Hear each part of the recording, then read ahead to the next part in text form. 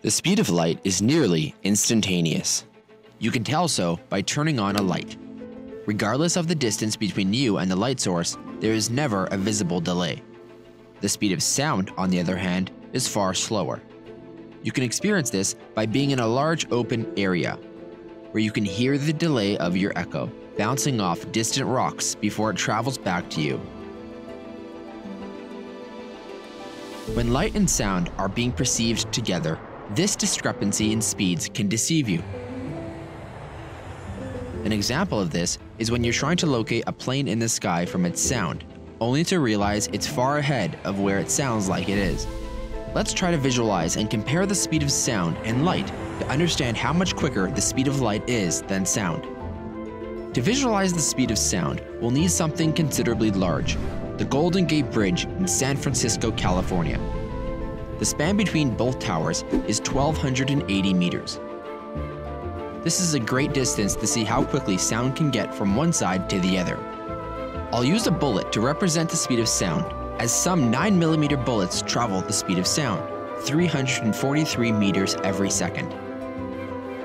If I shot a bullet from one tower to the other, it would reach the second tower in 3.7 seconds. This is what the speed of sound looks like bouncing from tower to tower in real time. The speed of light, on the other hand, is a lot quicker. To visualize the speed of light, we will need an object so large that we will need the whole planet. Planet Earth. The Earth's circumference is 40,075 kilometers at its equator. This is nothing for the speed of light, as it is able to circle the Earth seven and a half times every second. Let's zoom out to see the speed of light traveling between the Earth and the Moon. The Moon is 384,400 kilometers away, it takes the speed of light only 1.28 seconds. If a light source was heading to the sun, the sun being 147,450,000 kilometers away, it would take light 8 minutes and 20 seconds one way.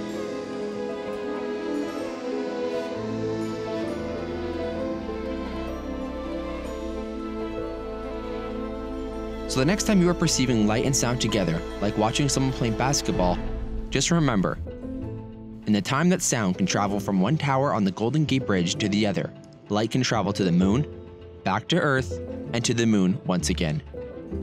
Back at the court, these drastic variations in speeds can be experienced. Up close, you can hear and see the ball hit the ground at the same time without a delay. But if you're far enough away, the speed of sound has enough time to begin to visibly fall behind the speed of light. Thanks for watching and please consider subscribing.